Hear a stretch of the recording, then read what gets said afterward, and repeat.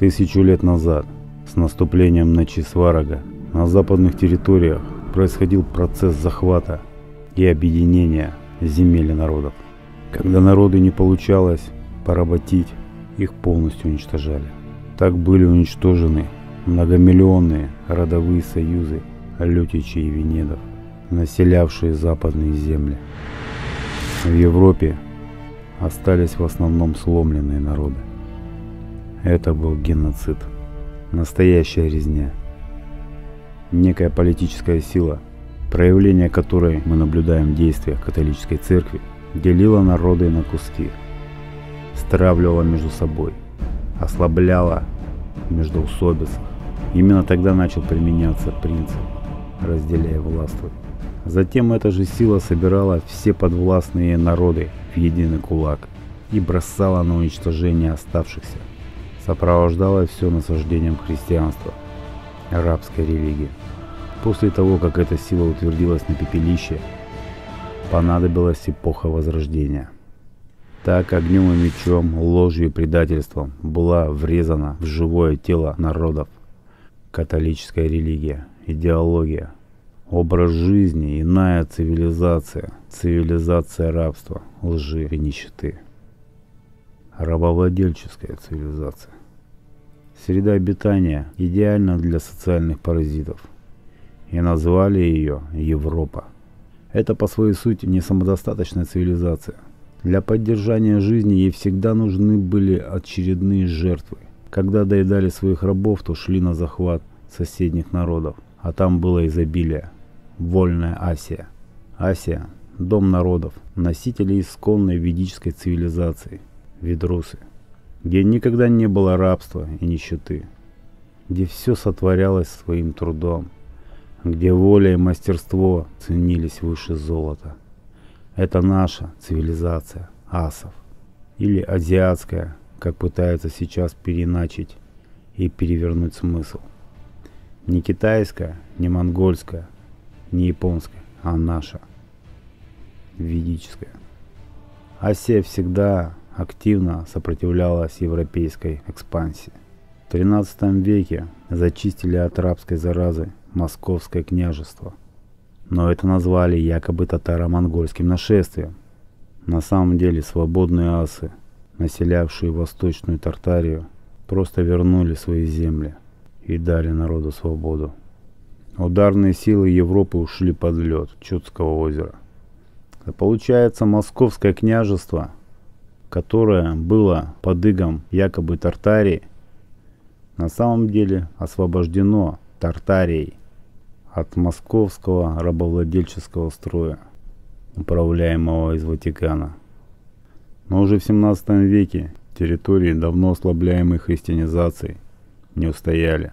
Московское княжество и подвластные ему стали обозначаться на картах как европейская Тартария или просто Европа.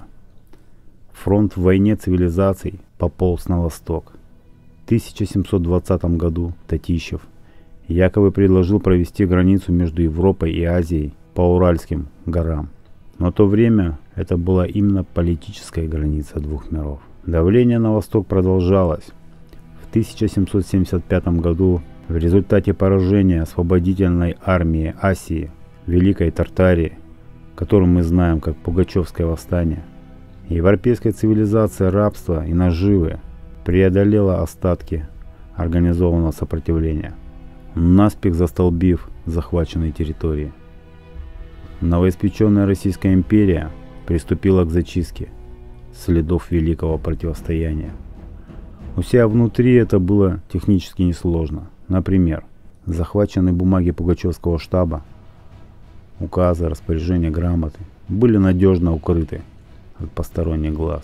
Остальное сделала пропаганда – Александр Сергеевич Пушкин спустя всего 50 лет по великому блату получил доступ к этим бумагам. И это еще вопрос, что ему показали. А оригиналов даже этих якобы пугачевских указов отыскать пока не удается. Зачистили так тщательно, что уже в 18 веке элита новых поколений пощенячьи лебезила перед якобы просветленной Европой. и презирала грязную, темную азиатскую помойку, в виде которой представлялась им неосвоенная Россия. Но следы великого противостояния слишком прочно вошли в оборот во всем мире. Сохранились в названиях, разных языках, легли на карты. Как это скрыть? Вот тут и пришла на помощь география. Тогдашние европейские географы были очень практичными и причастными к большой политике людьми. Поэтому соврали легко и грамотно. Все, что раньше разделяло две цивилизации, армия, государство, договоры, ушло в небытие. Великие полководцы стали бородатыми разбойниками, империи превратились в сборище враждующих князьков, большие города, в недавно срубленные сторожевые остроги а в географии появились две новых части света. По замыслу авторов подлога не только от русов должны быть скрыты политическая подоплека вопроса, но и от всего мира, и в первую очередь от европейцев. Они не должны знать, что множество якобы независимых европейских государств – лишь вывеска. Нельзя показать, что всей Европой управляет одна сила – и нельзя допустить возрождения забытых ведических традиций, ведь покорение Европы не закончено и по сей день. А там, где противостояли друг другу две цивилизации, осталась только географическая граница. Нет у нее дозоров и сторожевых полков. Стоят молчаливые горы, текут реки. Им все равно. Проходит всего столетия, и Данилевский искренне удивляется географической несуразности. Ему и в голову не приходит поразмыслить над политической трактовкой названия Евразия. Но годы шли, и таких Данилевских становилось все больше. Всеобщая образованность, будь она неладна, впредь Фурсенко такого не допустит. Географы же выродились в кабинетных условиях. Простые смертные начали с ними спорить и задавать неудобные вопросы так и появилась настоятельная необходимость подлатать официальную версию.